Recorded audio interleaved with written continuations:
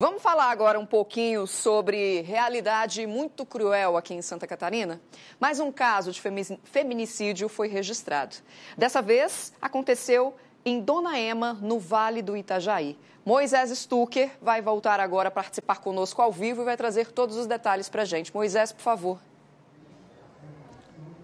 Pois é, Kelly, desfecho triste que aconteceu no Alto Vale do Itajaí, no município de Dona Ema. Mais uma mulher vítima de agressão doméstica, morta, de acordo com informações da própria polícia, pelo marido. Desta vez aconteceu no Alto Vale do Itajaí. Nice Bertoldi, de 43 anos de idade, foi assassinada pelo próprio companheiro dentro da casa dela.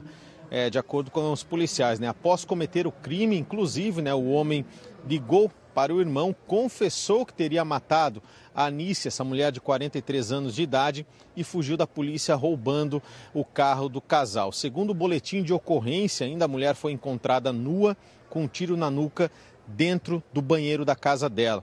De acordo com a Polícia Civil de Santa Catarina, então o caso já está sendo investigado e aí os vizinhos também do casal serão interrogados durante esse inquérito policial. É, infelizmente, né, Kelly, essas estatísticas não param de crescer aqui em Santa Catarina. Casos de feminicídio.